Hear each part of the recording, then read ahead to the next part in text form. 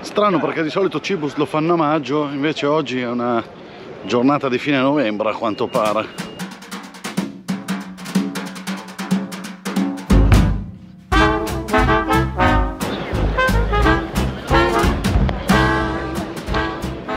Dopo due anni di inattività riparte Cibus nell'edizione 2022 già dal parcheggio visto che c'è tantissima gente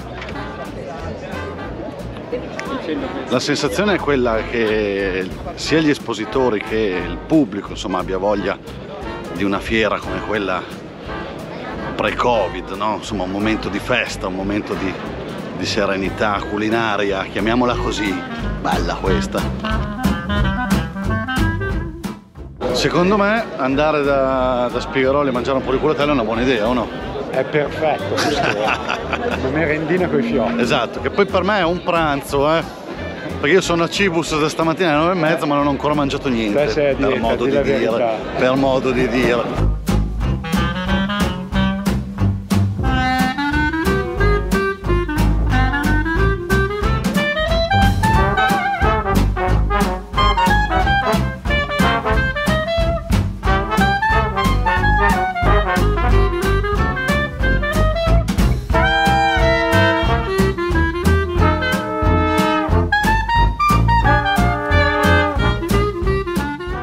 Pagato 500 euro una fetta di mortadella.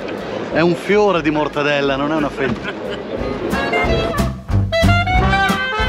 Volevo dire che anche in Spagna li sanno fare i salumi, eh, non solo in Italia. Questo è il pata negra, giusto? Buongiorno. Buongiorno.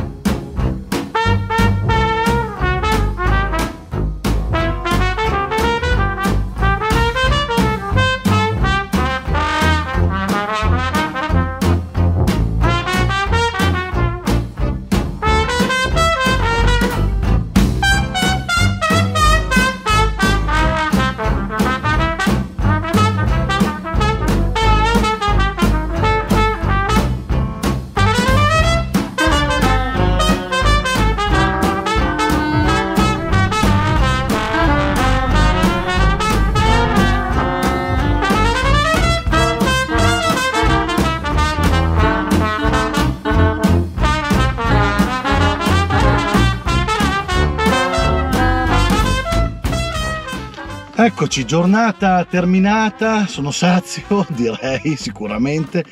E devo dire che ho visitato degli stand veramente di altissimo livello con dei prodotti eccezionali, di grande grande qualità, ma insomma lo sappiamo che Cibus è una manifestazione eh, di spessore. Se vogliamo fare un appunto probabilmente è un po' esoso il biglietto, costa 80 euro entrare e mm, c'è anche un problemino logistico, mi è capitato, non si può uscire per poi rientrare, questo dopo aver pagato 80 euro un biglietto in effetti è un pochettino fastidioso. Tolto questo direi che è veramente consigliata, se vi siete persi l'edizione 2022 vi direi non mancate a Cibus 2023. Ciao!